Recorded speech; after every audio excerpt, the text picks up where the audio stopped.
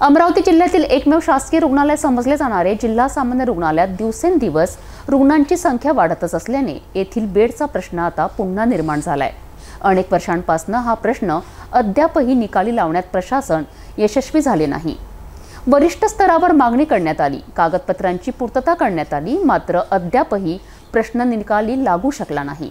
यासोबतच या रुग्णालयात सुविधेचा प्रश्नसुद्धा आता एरणीवर आला आहे. अमरावती शहरातील रुग्ण तर मेळघाट येथील गरीब रुग्ण आपल्या मोफतचा उपचार घेण्यासाठी अमरावती जिल्हा सामान्य रुग्णालयात दाखल होत असतात.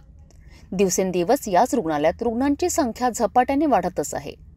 अनेक उपचारांचे अनेक कक्ष असल्याने एकीकडे डॉक्टर कर्मचाऱ्यांच्या संख्येचा तुटवडा तर दुसरीकडे अनेक वर्षापासून खाटांचा प्रश्न निकाली लागला नाही.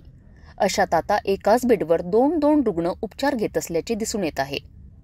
रुग्णालय प्रशासनाने याआधीही वरिष्ठ स्तरावर बेड वाढवण्याचा अहवाल सादर केला. मात्र अद्यापही यावर अंमलबजावणी करण्यात आली नाही.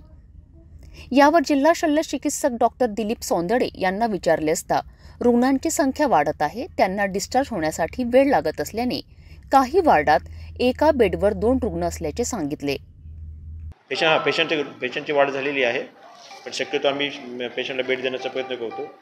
पेशंट ज्यावेळेस डिस्चार्ज होण्यासाठी थोडा वेळ लागतो त्याच्यामुळे काही वेळ एका बेडवर दोन अं, असू शकतात.